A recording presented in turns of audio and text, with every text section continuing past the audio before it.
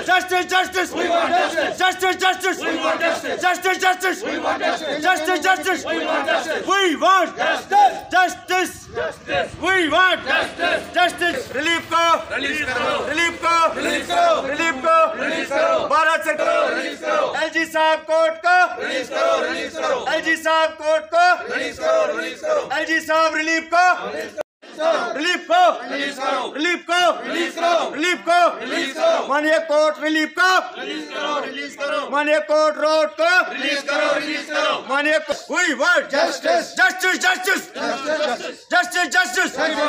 Justice justice relief को करो. We want justice. Justice, justice. We want justice. Justice, justice. We want justice. Justice, justice. We want justice. Justice, justice. We want justice. Relief go. Relief go. Relief go. Release Relief go. जी साहब relief को करो स्थानीय court relief करो honourable court relief करो honourable court relief करो release करो साहब release करो साहब रिलीफ करो भारत सरकार रिलीफ को करो रिलीज़ कोर्ट रिलीफ करो ऑनरेबल कोर्ट रिलीफ को करो रिलीज़ करो पीसफुल प्रोटेस्ट रखा है। हमने सोचा तो था, खैर, काफ़ी कुछ आगे हमने सोचा था कि हाईवे भी आज जो ब्लॉक करेंगे, लेकिन कुछ सूत्रों से पता चला कि जो है कि कुछ दिनों में रिलीफ आने वाला है। लेकिन आपके माध्यम के थ्रू मैं कहना चाहता हूँ, अपने एल साहब से मैं अपील करना चाहता हूँ कि अगर ये रिलीफ में ऐसी इनकन्वेंस हुई है, इसका ज़िम्मेदार कौन है? इस पर जो है प्रोब किया जाए, चूँकि जो भी इसमें गुनाहगार है, उसको सज़ा मिली जाए। हम लोग क्यों पीसेंगे? चूँकि आज दस दिन हमारी रिलीफ को जो है डिले हो गए। हमारे बच्चे इसी पर डिपेंड है, हमारे फीसेज इसी पर डिपेंड है, हमारी बीमार इसी पर है।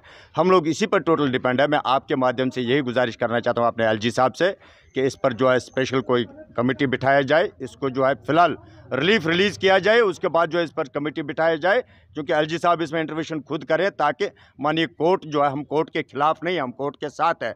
इवन हमारे रिलीफ कमिश्नर साहब जो नए आए हैं उन मुझे नहीं लगता कि उनका इसमें कोई दोष है।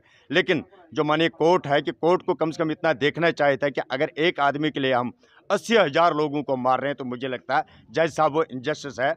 मेरी तरफ़ से आपको रिक्वेस्ट है जज साहब इवन एलजी साहब से भी, कि सर आप इसमें जो है पर्सनल इंटरव्यूशन लीजिए ताकि हम लोग जो इसी पर डिपेंड है कि हम कम से कम जो है अपने जनजीवन जो है आराम से चला सकें।